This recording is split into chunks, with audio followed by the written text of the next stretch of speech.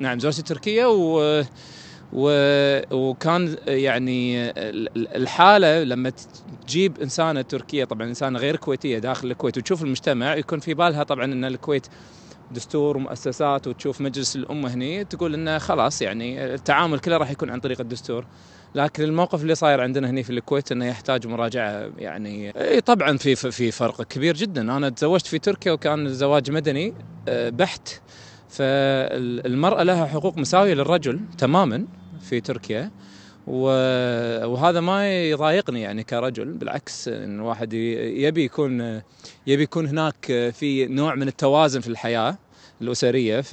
فهني في الكويت طبعا ما في عندنا إحنا الموافقة هذه. يعني يعني خلينا نقول الحين إذا أنا آه، عندي بنت إذا أنا كنت غير كويتي وعندي بنت وهذه كويتية.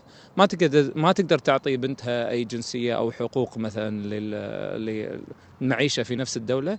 آه، هناك في تركيا لا ما عندهم هالموضوع هذا. الرجل والبنت عندهم نفس الفكرة. هذه اسمها حياة. حياة كل المتابعين يعرفونها في ال social media. تتكلم كويتي وإنجليزي وتركي. طبعا إحنا نتمنى المستقبل حق الجميع إنه إنه يعيش حياة كريمة وحياة فيها نمط حياة هم يختارونها. آه، مثل ما قاعد تشوف هنا في في الكويتيين ترى مو مو ثقافة واحدة يعني. وكلمة ثقافة وموروث هذا كلام كله فاضي وأكل عليه الدهر والشرب يعني. إحنا الحين كل عائلة لها لها نمط حياة مختلف. وإحنا بس نبي نتعايش هذا أهم شيء إنه يكون في تعايش. وإن إن الدستور هو اللي يكفلنا.